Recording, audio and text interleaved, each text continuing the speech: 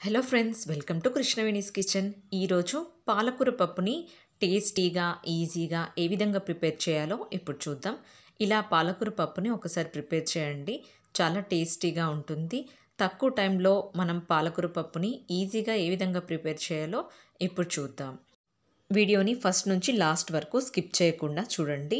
ఈ tasty tasty పాలకూర పప్పుని దానికి కావాల్సిన ఐటమ్స్ ఏంటో ఇప్పుడు చూద్దాం. ముందుగా ఒక కుక్కర్ తీసుకొని అందులోకి వన్ ఫిఫ్టీ గ్రామ్స్ కందిపప్పుని శుభ్రంగా ఈ విధంగా వాష్ చేసి పెట్టుకొని యాడ్ చేసుకోవాలి. మనం కావాలనుకుంటే కనుక కందిపప్పుని నానబెట్టి కూడా యాడ్ చేసుకోవచ్చు. నేను ఇక్కడ డైరెక్ట్గా వేస్తున్నాను. అదేవిధంగా ఒక వన్ అండ్ హాఫ్ గ్లాస్ వాటర్ని యాడ్ చేసుకోవాలి. ఈ విధంగా వాటర్ని యాడ్ చేసుకున్న తర్వాత అందులో ముందుగా కట్ చేసి పెట్టుకున్నటువంటి మన వెజిటబుల్స్ని యాడ్ చేసుకోవాలి. మనకి చింతపండుని ఇక్కడే ఆల్రెడీ నానపెట్టుకున్నాను. సో ఇందులోనికి ఒక బిగ్ సైజు ఆనియన్ని ఈ విధంగా చాప్ చేసి పెట్టుకొని యాడ్ చేసుకోవాలి. నాలుగు పచ్చిమిర్చిని కూడా కట్ చేసుకొని యాడ్ చేసుకోవాలి. ఒక కొత్తిమీరని కూడా కట్ చేసుకోవాలి. అదేవిధంగా ఆల్రెడీ నానబెట్టుకున్నటువంటి లెమన్ సైజ్ చింతపండుని యాడ్ చేసుకోవాలి. హాఫ్ టీ స్పూన్ టర్మరిక్ పౌడర్ని యాడ్ చేసుకోవాలి. వన్ స్పూన్ సాల్ట్ని యాడ్ చేసుకోవాలి. హాఫ్ స్పూన్ రెడ్ చిల్లీ పౌడర్ని యాడ్ చేసుకోవాలి. నాలుగు కట్టలు పాలకూరని ఈ విధంగా చక్కగా వాష్ చేసుకొని చాప్ చేసుకొని ఈ పప్పులోనికి యాడ్ చేసుకోవాలి. మీ ఇష్టాన్ని బట్టి మీరు యాడ్ చేసుకోవచ్చు పాలకూర అనేది. సో నేను ఇక్కడ నాలుగు పాలకూర కట్టల్ని యాడ్ చేసుకున్నాను. ఈ విధంగా యాడ్ చేసుకున్న తర్వాత మొత్తం అంతటిని కూడా చక్కగా మిక్స్ చేసుకోవాలి. పాలకూరని మనం పప్పులోనికి ఉడికించే ముందు అంటే పప్పుని కొంచెం సేపు నానపెట్టుకొని కూడా మనం కుక్ చేసుకోవచ్చు.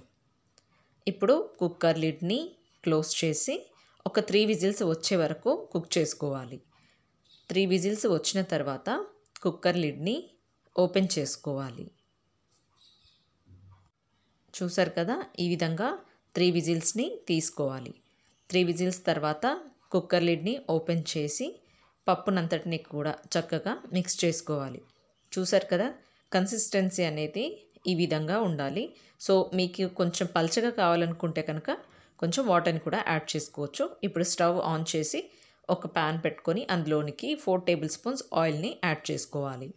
ఆయిల్ హీట్ అయిన తర్వాత వన్ స్పూన్ జీలకర్రని హాఫ్ స్పూన్ ఆవాలని హాఫ్ స్పూన్ మినప్పప్పుని హాఫ్ స్పూన్ బెంగాల్ గ్రామ్ శనగపప్పుని అలాగే ఒక ఏడు క్రష్ చేసి పెట్టుకున్నటువంటి గార్లిక్ని యాడ్ చేసుకోవాలి. ఒక ఫోర్ రెడ్ చిల్లీస్ని కూడా ఈ విధంగా కట్ చేసుకొని వేసుకోవాలి. మనం వెల్లుల్ని వేయడం వల్ల ఫ్లేవర్ అనేది చాలా బాగుంటుంది. అదేవిధంగా ఇందులోనికి కొన్ని ఫ్రెష్ కర్రీ లీవ్స్ని కూడా యాడ్ చేసుకోవాలి. మీ ఇష్టాన్ని బట్టి వెల్లుల్లి అనేది ఎక్కువగా వేసుకుంటే పప్పు అనేది టేస్టీగా ఉంటుంది. సో ఇవన్నీ వేసుకున్న తర్వాత చక్కగా ఈవెన్గా తాలింపు దినుసులు అన్నింటిని కూడా చక్కగా ఫ్రై చేసుకోవాలి. ఇందులోనికి ఎక్కువగా మనము గార్లిక్ని అదేవిధంగా కర్రీ లీవ్స్ని వేయడం వల్ల ఫ్లేవర్ అనేది చాలా బాగుంటుంది. అదేవిధంగా నేను ఇక్కడ ఒక పించ్ ఆఫ్ హింగ్ కూడా యాడ్ చేస్తున్నాను.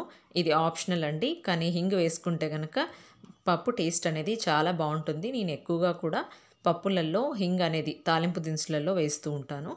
ఇప్పుడు ఈ తాలింపులోనికి మన మిక్చర్ని యాడ్ చేసుకుందాము. పాలకూర పప్పుని ఈ విధంగా తాలింపు దినుసులన్నింటిలోకి కూడా యాడ్ చేసుకొని చక్కగా మిక్స్ చేసుకోవాలి. చూసారు కదా ఈ పాలకూర పప్పు ఎంత చక్కగా ఈజీగా అయిపోయిందో.